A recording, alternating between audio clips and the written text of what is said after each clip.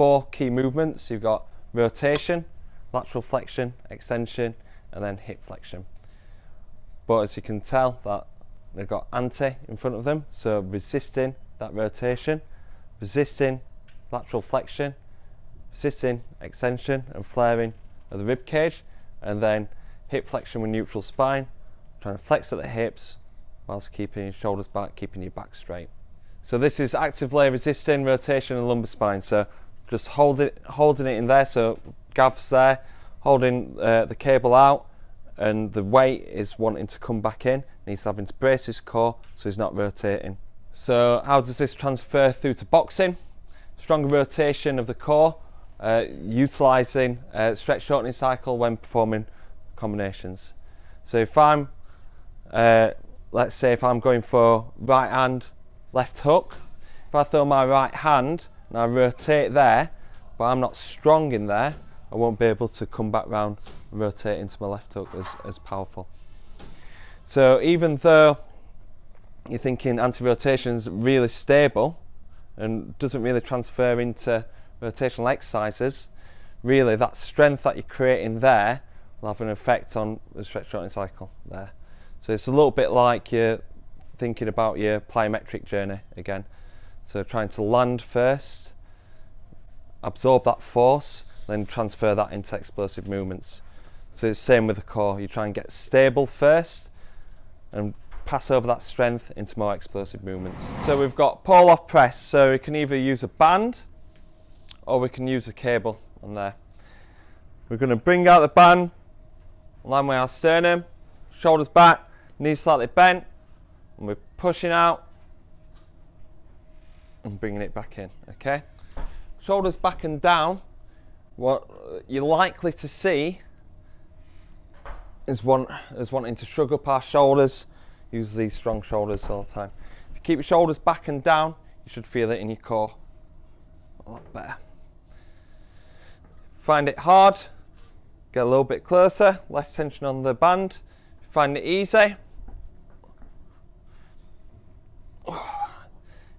you thought I wasn't going to do it then. okay, pressing out there. Strength now. So remember, strength is challenging stabi stability through like dynamic movement. So first one, cable rotations, okay, or banded rotations. So you can either grab a cable on a pulling machine, you can just grab one of these bands here. Knees slightly bent, feet hip width apart, rotating, then back. As soon as we're back at the centre, rotating again. Okay?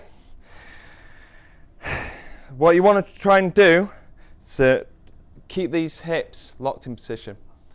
So, I'd, like we were saying about the lunges the other day, I don't care whether you're rotating all the way around or rotating to there, as long as you're keeping these legs fixed in position.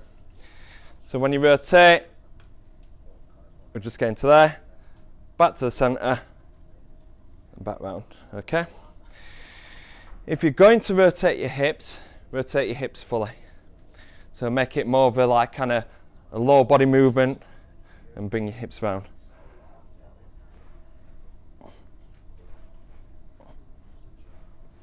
Okay, so that hip movement becomes purposeful and actually contributes. Pardon? Yeah, yeah. Well, well, it's kind of both.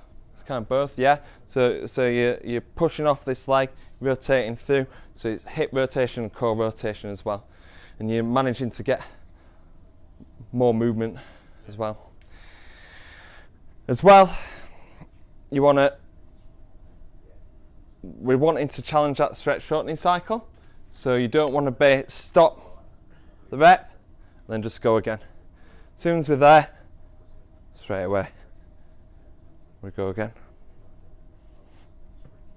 That's the eccentric into concentric, just slower movement.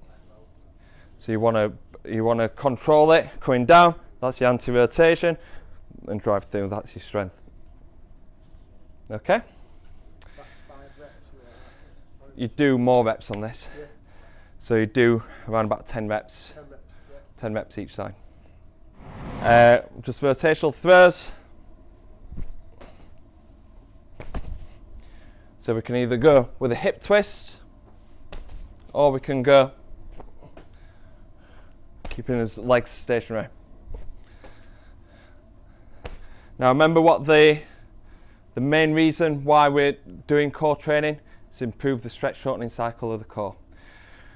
So when I see people doing wall slams and going there and just throwing it as hard as they can, so that's like concentric force, not challenging the eccentric. So we do a lot of catch and throw techniques. From standing, it's a little bit difficult because we're going with a heavier ball, or if it's a lighter ball, it's going quite fast. So I'd encourage to start there, drop down into it, and then throw.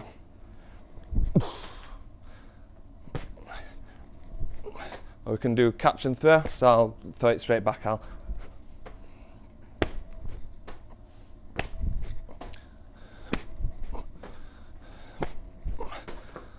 Okay, so catching it, rapidly controlling that force, and then going into concentric force. So that's your rotation, but also catching it there, you're also going into lateral flexion. Okay, so in, in these kind of drills,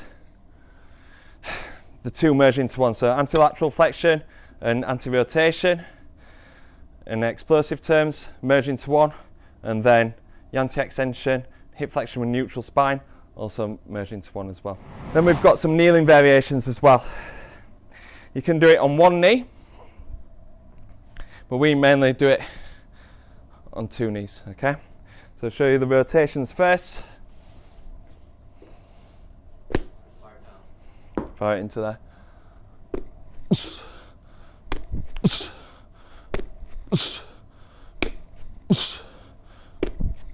Other side before we throw it again.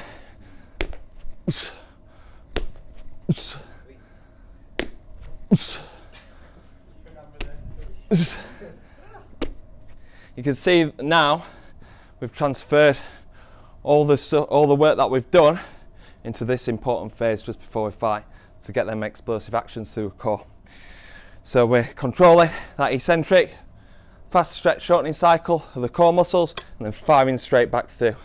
I'm not going all the way down, not flexing the hips, not arching my back to try and get as much momentum into shot. I'm trying to catch it, use rapid rotation and drive back through.